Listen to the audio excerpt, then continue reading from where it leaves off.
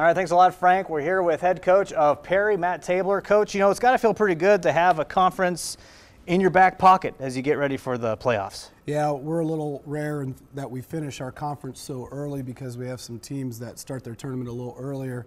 Um, that are in our conference. So, um, yeah, 8 and 0 conference. Uh, that's our fourth uh, NWCC championship in uh, five years, and happy for our kids, but that's only one championship. We're looking for a few more this year.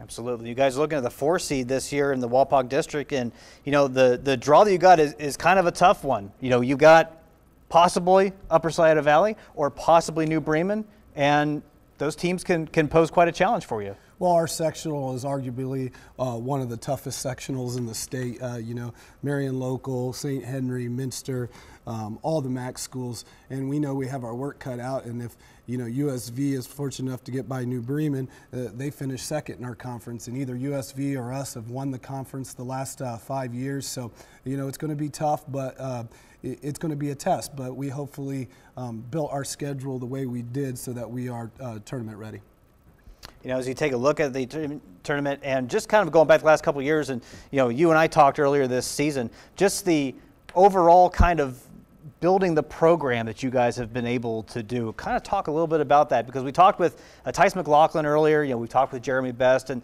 you know, we we kind of cover those guys. We see them making those runs into mid March that they're competing for district finals, they're competing for regional finals, and Perry is a program that seems to also be trending in that direction. Talk about kind of how your you and your guys have kind of helped build that over the last couple years. Well, I think the first thing you need are good kids. You need kids to buy in with what you're going to do. Um, we started this program 12 years ago, and, and we had a lot of thoughts on what we wanted to do. But but the first thing we had to do is have the kids buy in, and I felt like our kids have bought in. And um, you know, someone like a Jamal Whiteside who played with us on the state Final Four team. Um, uh, two years ago. Um, he was our seventh man, and he only averaged four or five points a game, but he bought into getting better, and he improved over these last two years, and now he's averaging 19 and a half points for us, and, and his leadership is unbelievable, and, and hopefully it goes with the next crop of kids. We, are playing three freshmen this year, and, and we hopefully, you know, we'll have good seasons with them and have younger kids follow with them. How have you seen that maturation process maybe even sped up when you've got guys that have – you know, not just playoff experience, but they've got, you know, kind of state experience, and then they're using that to kind of help bring along the younger guys and just kind of create that overall expectation that, you know, basketball isn't done for us by the end of February, beginning of March. We expect to make a run into the, the Ides of March, as it were. Exactly, and it's one of those where the guys have uh, set a precedence for us that uh, we can't accept losing. We got to be um, the best team we can be, and the seniors on this team, they sat on the bench as sophomores and saw um, what we could do um, when they were sophomores and making a state Final Four run.